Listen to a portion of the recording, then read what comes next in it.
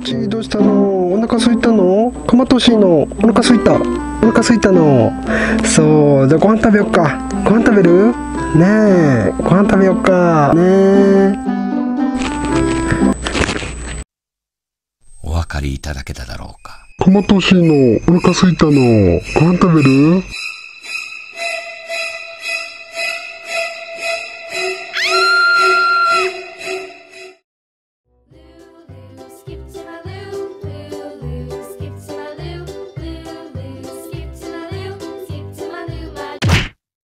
はいどうもこんにちは。ヘルメット多すぎるやつ完全に手遅れ。今日もね部活レベルの知識でヘルメットの比較やっていきたいと思いますよ。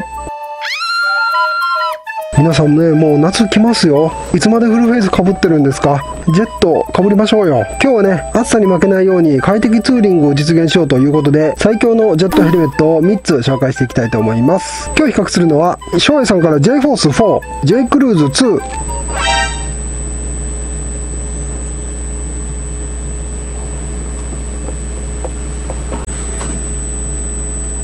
新井さんから VZ ラムプラス。この3つを比較していきたいと思います。まずはいつも通りそれぞれの概要をお伝えしていきたいと思います。まず1つ目 J フォース4スポーツ走行から普段使いまで。エッジの効いたフォルムで空力特性も進化。ベンチレーションも最強のスポーツジェットモデル。軽量コンパクト。普段使いからツーリングまで。汎用性の高さが魅力。積極的な走りを楽しみたいっていう人にもおすすめですね。続いて J クルーズ2ロングツーリングメインの人はこの J クルーズ2がおすすめ。インナーバイザー搭載のクルージングジェット。静粛性に優れていて低重心直進時の安定感も最も優れてますね。旧モデルより大きくなったインナーバイザーはもちろんジェットなのにシールド理解機能も備えることでシールドの曇りにも対応。またこちらの JForce4 が通常の防体 AIM なのに対して J クルーズの方はワンランク上の AIM プラスが採用されるなど安全性も向上していますね。はいそして新井さんから VZ ラムプラス。J フォースの空力と J クルーズのバイザーを合わせたいいとこ取りのヘルメット。このバイザーをあえて防体の外に設けることでバイザーを日差しとして利用することもできてまたスノリ企画もクリアする安全性を確保。一部レプリカモデルの設定があるっていうのも新井さんだけですよね。スポーツジェットが欲しいけどバイザーも諦めたくない。そんなあなたにはこの VZ ラムプラスがおすすめ。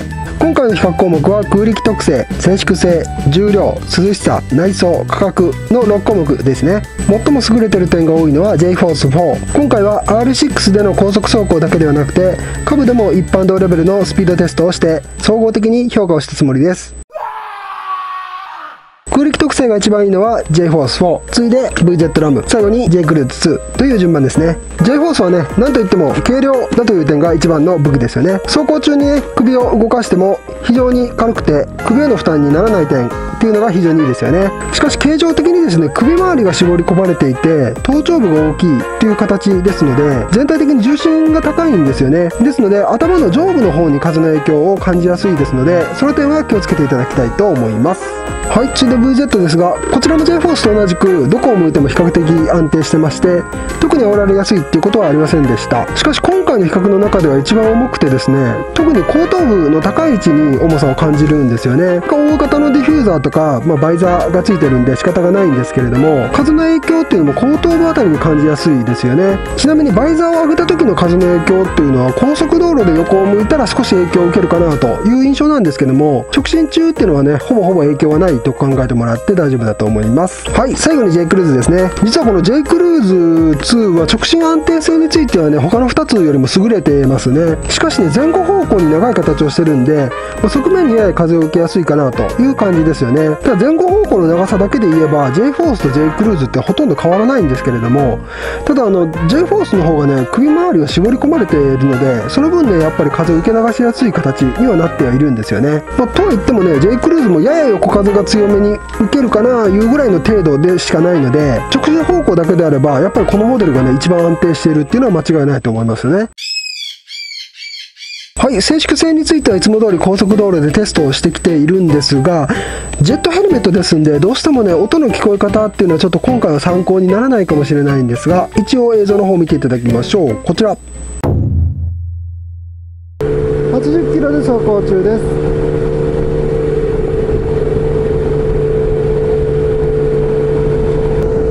80キロで走行中です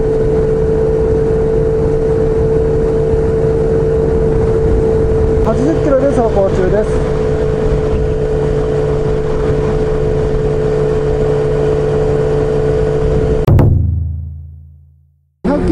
行中です。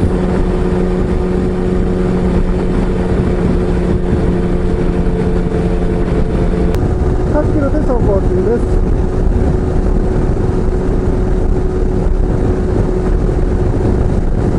100キロで走行中です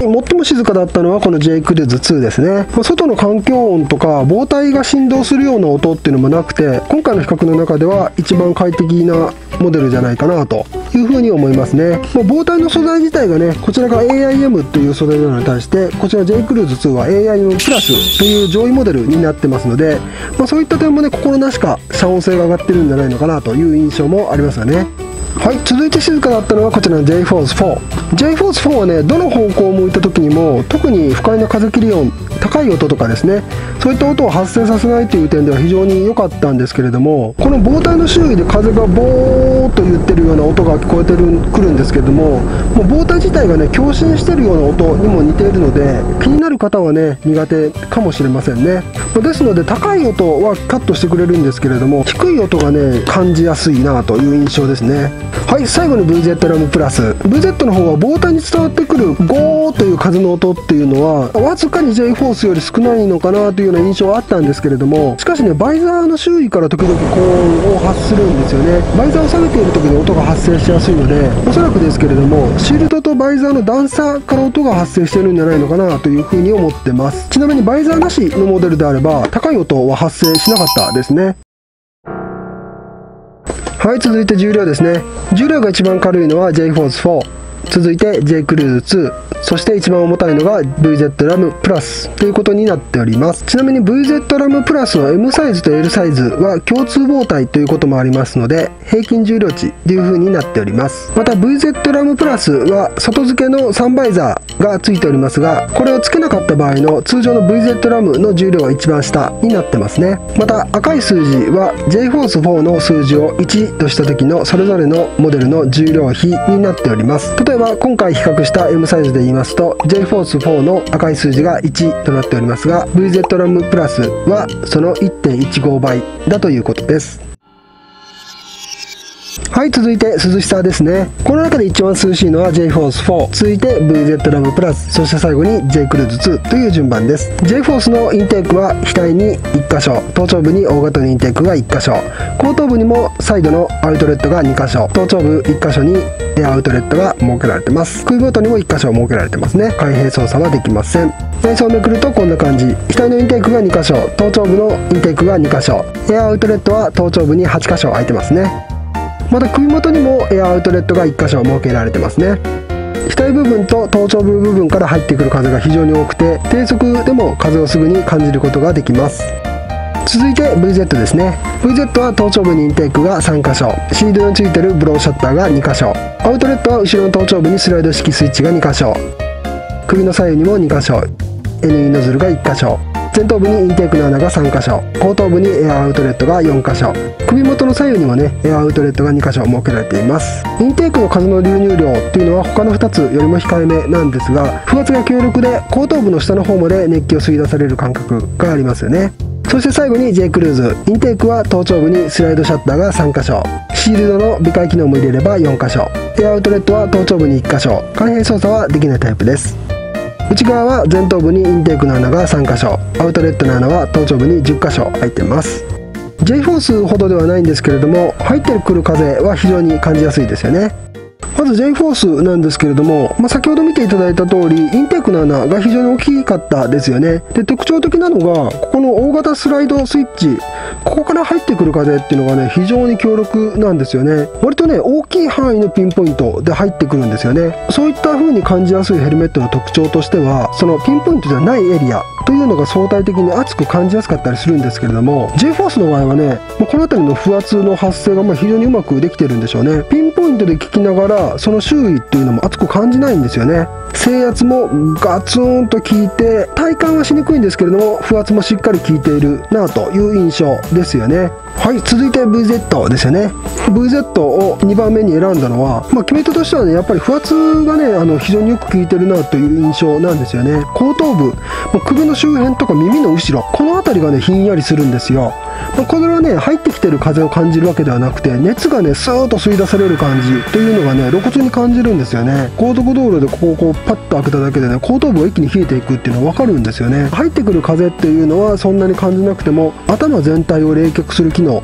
に関してはねこれは新井さんの方が非常に優れてるなというような印象がありますよね。またもう一点シールドの長さがね翔英さんと比べて1センチほど短いんですよね。ですので下からの巻き込み風というのがね翔英さんよりも入ってきやすいので顔が涼しく感じやすいというのも特徴ですよね。はいそして最後に J クルーズ2翔英さんのベンチレーションらしくインテークの風っていうのは非常に感じやすいんですよね。またインテークがね3箇所も設けられてますんで風の入り方っていうのはこのインテーク通り横に広く入ってくるというような感じですよね。また J フォース4もそうなんですけれどもこの J クルーズもこの縦に長い CJ2 シールドというシールドを採用してるんですがこのシールドってね縦に長いために顔面周辺に風が入ってこないということで今までのジェットよりねちょっと息苦しいなというふうに思われる方もいらっしゃるんですよね。でまた口元とシールドの距離が近いというようなこともあって発売当時はね結構息苦しいというふうな意見も散見されていたんですけれどもシールド美解機能というのが追加されたことで顔周辺への空気の取り込み量というのも増えたので非常に爽やかにツーリングすることができるんじゃないのかなと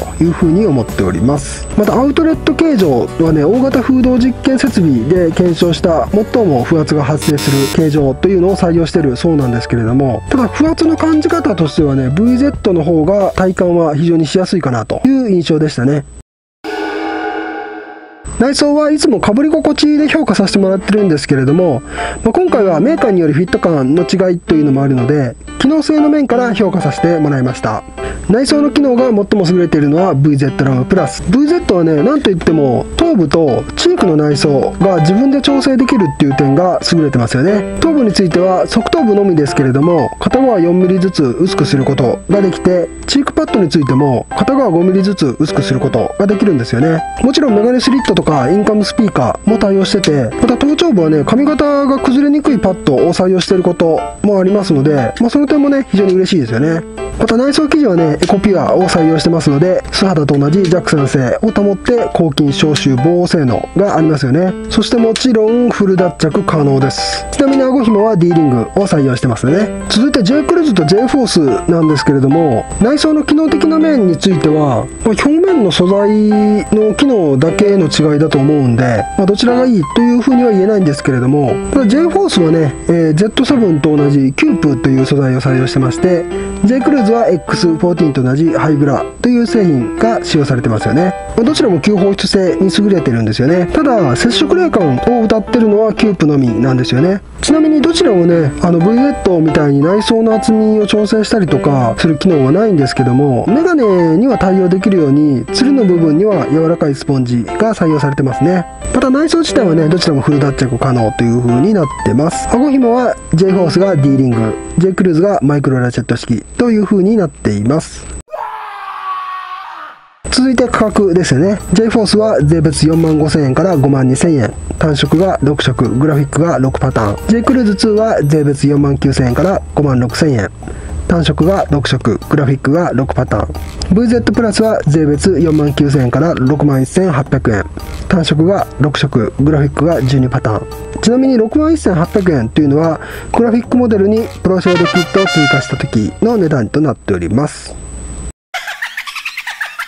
はいそれでは最後にもう一度おさらいいきます。J-Force4 スポーツ走行から普段使いまで空力とベンチレーションに優れるスポーツジェットモデル。軽量でコンパクトなので普段使いからツーリングまで非常に汎用性の高いモデルですよね。ロングツーリングメインの人はこの J クルーズ2がおすすめ。高速走行時の直進安定性。また静音性。インナーバイザー。シールド美解機能快適機能でロングツーリングを楽しみたい。そんなあなたにおすすめ。はい VZ ラムプラスこちらの J フォースと J クルーズのいいとこ取りのヘルメット。どちらにしようか悩んでいるんならこいつがおすすめ。最も厳しいと言われる安全性のテスト。スネル規格をパスしているのも VZ のみ。スポーツジェットが欲しいけどバイザーも諦めたくない。そんなあなたは？VZ ラムプラス最後にもう一度比較表を見ていただきましょう。こちら。回は R6 で高速道路また株110で下道を2日間にわたってテストしてます。それでも皆さんが乗る車両や環境によって印象は変わってくると思いますんでその点はご理解いただけたらと思います。どんなに暑くてもね一年中絶対フルフェイスっていう人もいるんですけれどもジェットで涼しく快適にバイクに乗れた方が疲労も少なくてまた事故をね未然に防ぐことにもつながってくると思います。また 50cc とか 125cc とかのセカンドバイクを持っている方にもジェットは手軽で便利ですのでおすすめですよね。まあ言うてる私は年中フルフェイスなんですけどはい今回も最後までご視聴ありがとうございました。もしよかったらそのままメット部に入部していってくださいね。最後まで見てる時点でもう入部してますけどね。最後まで見てる時点でもう入部してます。はいということで今回はジェットヘルメットの比較でした。本日はここまでご視聴ありがとうございました。